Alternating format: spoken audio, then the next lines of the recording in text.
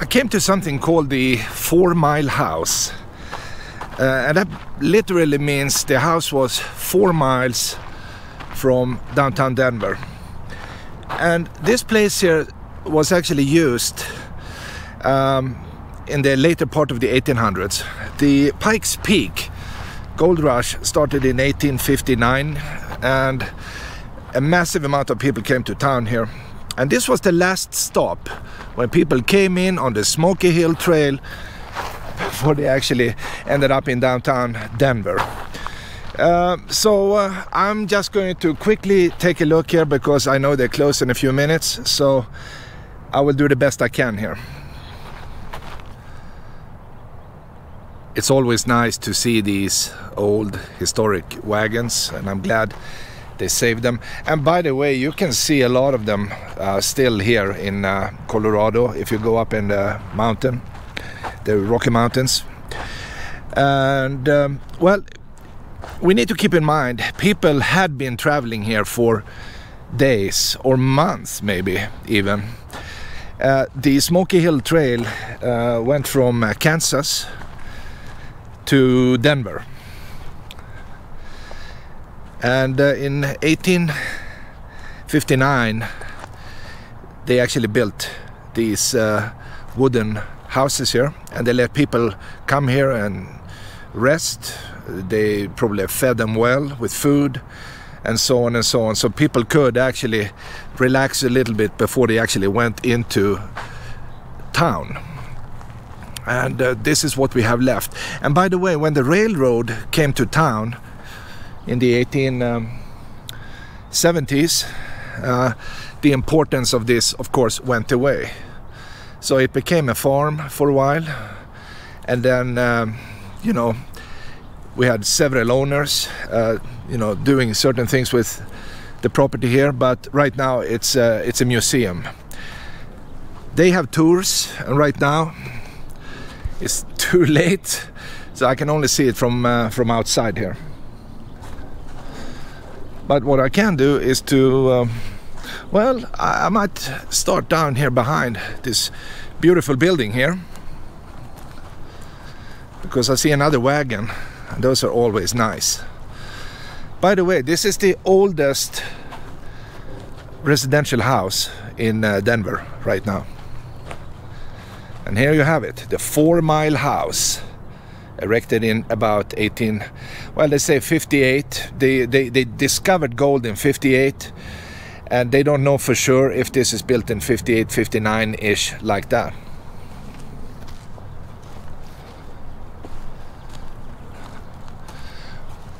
Wow what a pretty place.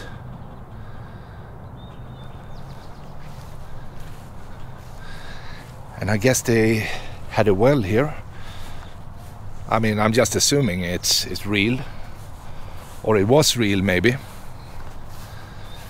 So when these travelers came here, they actually saw this. That is really nice.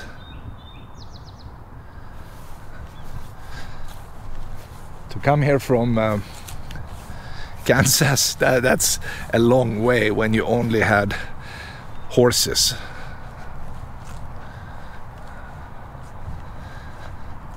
And we have some, um, well, here's the back, or side maybe I should say.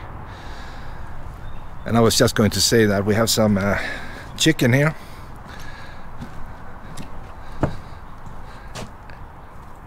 And they have a donation station for chickens. How cool is that, right? You can donate. Yeah, you know, I'm going to donate. I throw in a couple of bucks. How cool is that? I love I love these chickens. So let's do uh, what do I have in my pocket here? Three bucks. My goodness, this is really cool here. Here, here you have it. Chicken donation. All right, that's so cool.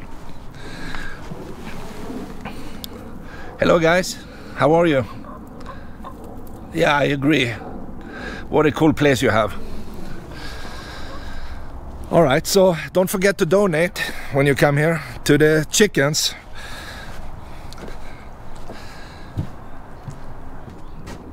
Wow, look at that. It's an old stove. My God, what a cool place, right? I mean, you could have lived here. It's a little shack, right? You have some artifacts in the background. Some tools hanging on the wall. Unfortunately, no lights.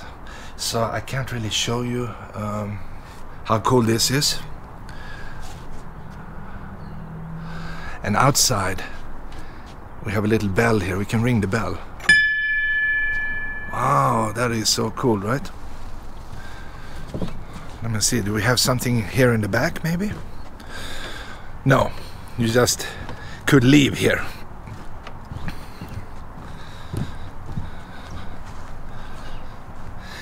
And here they, they actually built some kind of underground uh, place. Uh, and you know, in uh, Sweden, for instance, we used to have a lot of these back in the days.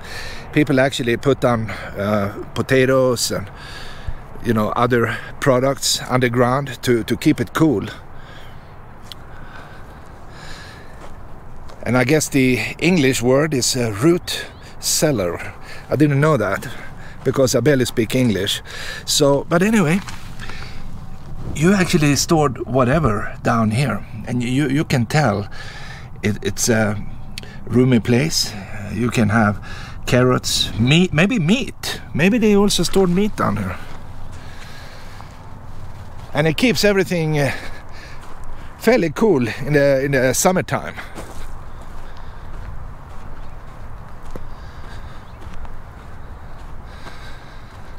And I think right down here behind these trees here, the uh, Cherry Creek River is down there. It's very small here, I think, but I can't see it from uh, from this property.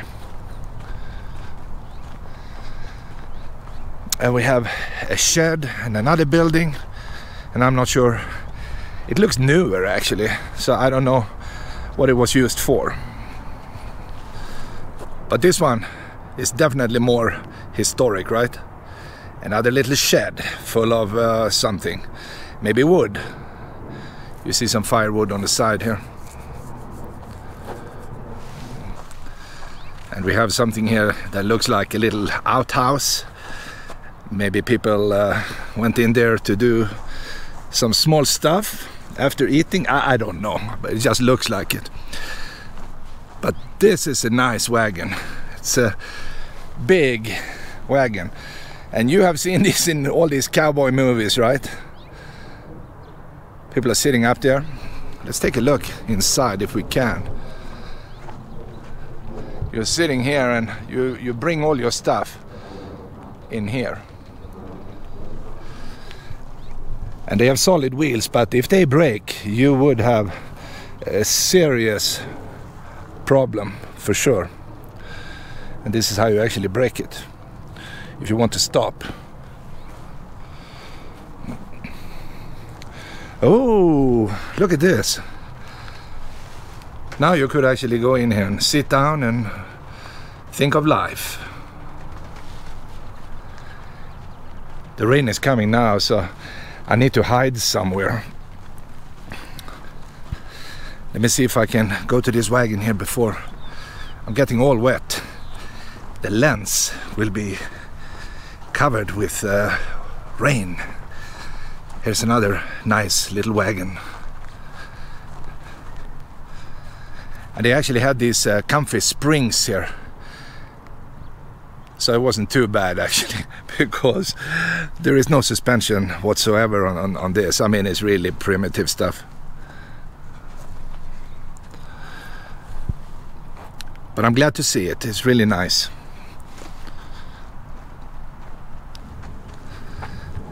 And this barn was used by the blacksmith. And of course they needed that because they had to repair stuff and, and fix, you know, all kind of equipment. Uh, they needed to take care of the horses and make horseshoes. And you can see a bunch of these horseshoes up here.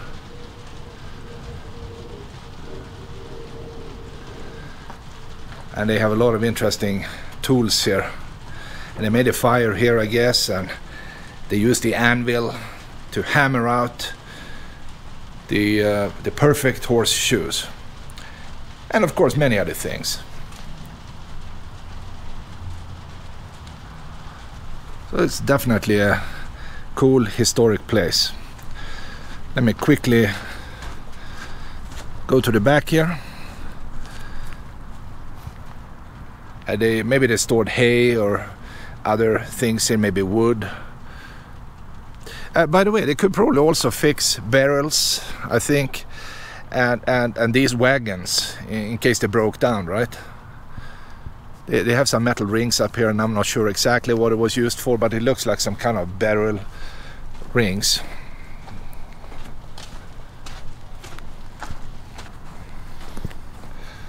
Let's take a look here, really quick. Wow, look at this.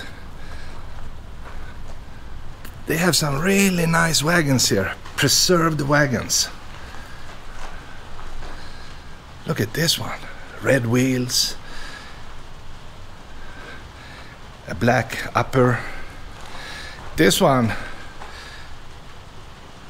I'm not sure, yellow wheels and red wagon. Um, I don't know if this is uh, original or if somebody donated this and they painted it. I'm too close.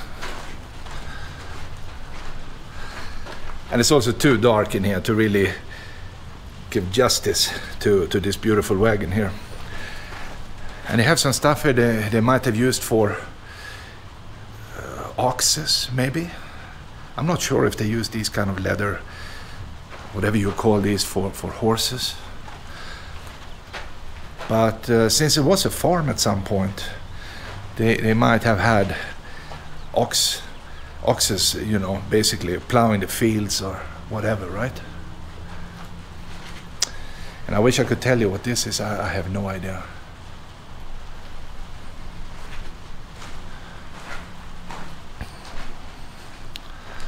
And now I'm just hiding here because of the rain. I will do a, a quick run over to that little pig down there and we can take a look. And maybe that will uh, end my little stressed out walk of this place. Hello, little fellow. How are you? You look very nice. Do you live here? I'm sure you do.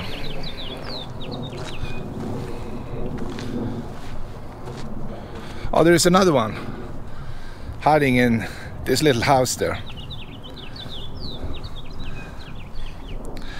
Yeah, I like you too. So don't worry, you're my friend.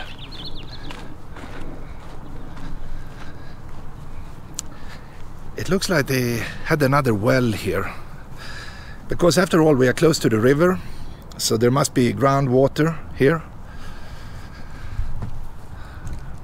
We have some nice horses down in this area.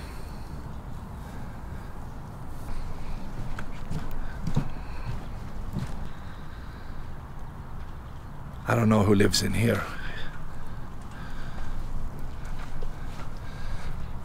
But the old building technique is so relaxing to view, right? And look at the horseshoe above the door. It means good luck.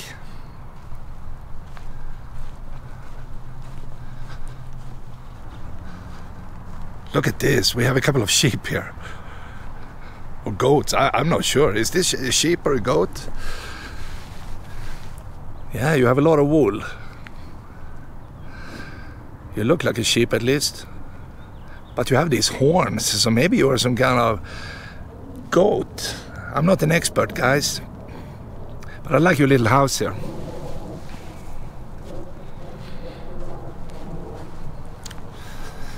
And my last stop will be pretty much right here. Where the horses live. We have a nice horse, maybe you can see that. It's huge. The mother of all horses is standing right in front of us here. It's just so hard to see with no lights. But according to this, he lives a happy life in here, and I, I, I really believe that. Look at the wood here. The building technique from the past. So simple and so efficient. Yeah, we can't really see in here.